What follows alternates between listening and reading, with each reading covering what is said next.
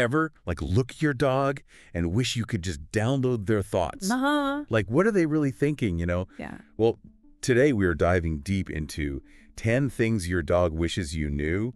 And this is, like, next level stuff. Oh, Way more than just, don't forget to scoop the poop, you know? It really is. We often approach our dogs from a very human perspective, forgetting how differently they experience the world. Okay, so first up is something that kind of blew my mind.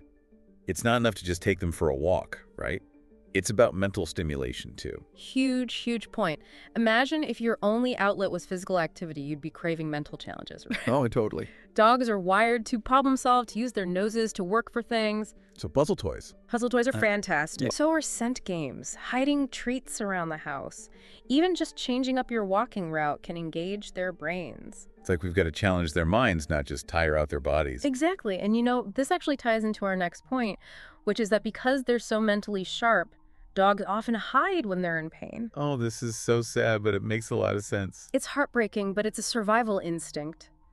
In the wild, a dog that shows weakness, well, they become vulnerable. Right, right. So, as they're humans, we've got to be really tuned in to those subtle signs. Okay, so what, like a change in their posture? Exactly. Posture's a big one. Appetite changes, eating more, eating less. Yeah. Even a sudden reluctance to play can signal something's wrong. Regular vet checkups are crucial too, of course. It's like being a dog parent comes with a crash course in body language. Yeah, it really does.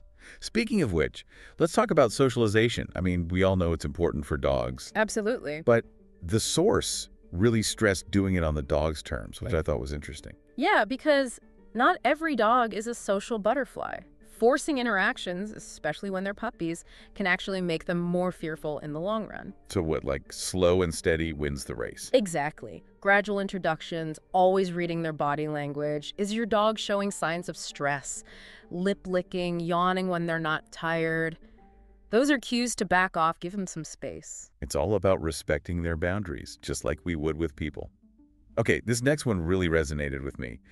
It's not just what we say to our dogs, it's how we say it. Oh, tone of voice is everything. Think about it. How do you talk to a baby? All sing-songy and high-pitched. Exactly. Dogs pick up on that. To them, an excited, encouraging tone.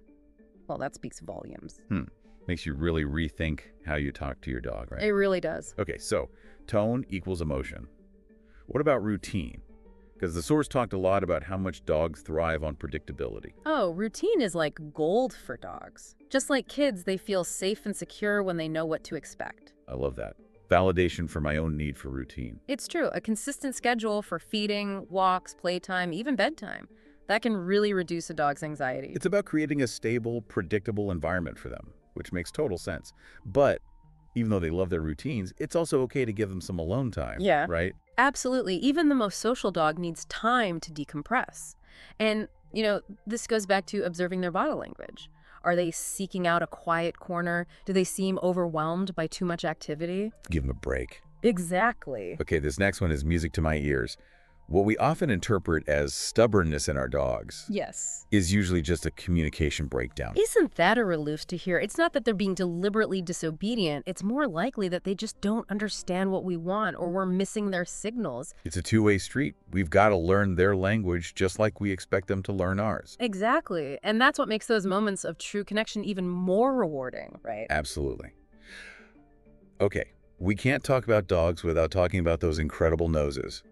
Walks aren't just about exercise for them, they're sensory explorations. Oh, absolutely. Imagine if your world was dominated by smell. It's hard to even imagine. Every fire hydrant, every blade of grass, every other dog that's walked by, that's all information. Mm-hmm. So letting them sniff around, it's not just indulging a quirk, it's like letting them read the newspaper, catch up on the latest news. I love that. Okay, get ready for the feels, because this next one really hit me.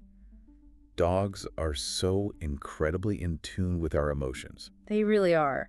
Our well-being genuinely affects their well-being. It's this beautiful, profound connection, that empathy they have for us. They pick up on our stress, our anxieties, our joys. It makes you realize how much we impact them. We do. Okay, cue the waterworks, because this is a big one. The most important thing we can give our dogs is love. At the end of the day, that's what matters most. It's the foundation of everything. Exactly. All the tips we've talked about, they all stem from that core bond of love and trust. When a dog knows they are loved unconditionally, well, it changes how they see the world. Okay, this has just been so heartwarming. But I think the biggest takeaway for me is the importance of observation. Really paying attention to those subtle cues, learning their language. Couldn't agree more. Because when we take the time to truly understand our dogs, Yeah. that's when that bond becomes truly unbreakable. Beautifully said.